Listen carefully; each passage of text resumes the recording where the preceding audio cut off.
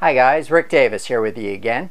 Today I'd like to talk about the best mirrorless camera and what to look for in them for your next camera purchase. Now this new class of cameras has been going by a few different terms out there. A couple of the more common ones is a, an MILC or a mirrorless interchangeable lens camera. Another common one is the DSLM, meaning digital single lens mirrorless camera. Uh, now, quite a few manufacturers putting out different ones that fall into this category. I'd like to go over some of the key things that you should look for before making your next purchase.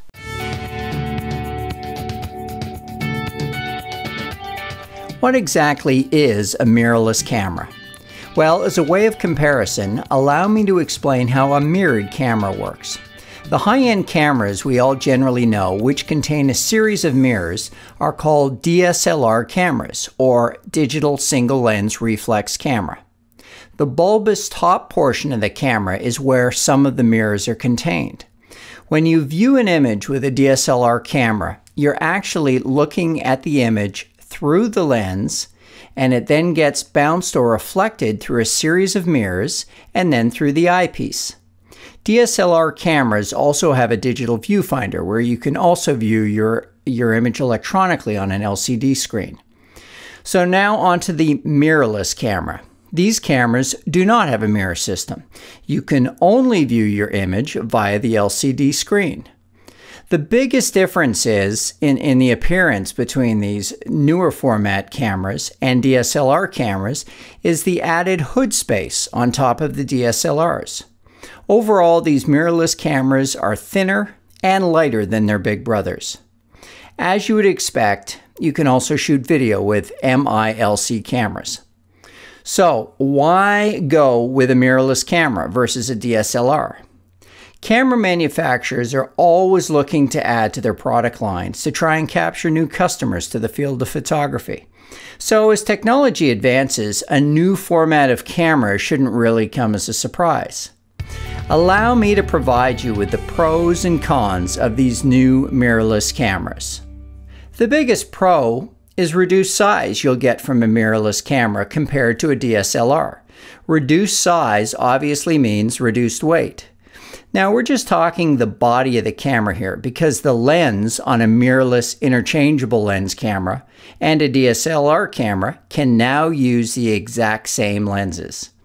This interchangeability of lenses is great. It provides you with a great bang for your buck by allowing you to use your lenses on multiple cameras. However, a word of caution here. Not all lenses will fit on all mirrorless cameras. In some cases, an additional adapter is needed to ensure that your lens will mount. As with all new technologies, it's always a battle between manufacturers uh, to come up with accepted universal standards. I'm sure this will change over time, but for now, make sure your existing DSLR lens will fit on your new mirrorless camera. Another pro for mirrorless cameras is the camera sensor size. For the most part, it's greater in size than of the point and shoot compact cameras. Therefore, you're going to get a better image with greater raw detail. Some of the mirrorless models now have image sensors as large as their DSLR counterparts. And a final pro, mirrorless cameras are quieter than DSLR cameras. This is because there are no moving parts. The DSLR camera has a mirror system that has to flip up out of the way for the image, uh, the image information to hit the sensor. Now on to the cons. It's not a DSLR, so you don't have the added benefit of seeing your image actually through the lens. Instead, you're getting a digital representation through your LCD viewfinder. If your personal photographer image is important to you and you're stuck on bigger is better, then a mirrorless camera may not be for you. You may want a fully decked out DSLR to keep your ego truly happy. And a big key point, which needs to be remembered with regards to this relatively new class of camera, is the sensor side. As I mentioned before in other videos, sensor size is the key deciding point of comparison when choosing a new camera.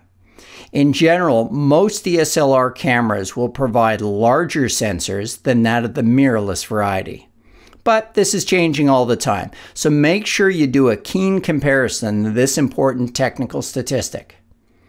For me, what I like most about this new classic camera is that because it's smaller and lighter, I'm that much more likely to take it along with me in search of photo opportunities when I'm out and about. If you enjoy photography, I think you owe it to yourself to have a close look at the mirrorless cameras. I hope you found this video to be helpful. Please leave me a comment below. Let me know if viewing your image through the lens is that important to you. I'd love to hear from you. And don't forget to subscribe to my channel so that you'll get my latest on video and TV production tips. Just click on the subscribe button. Thanks for watching, guys.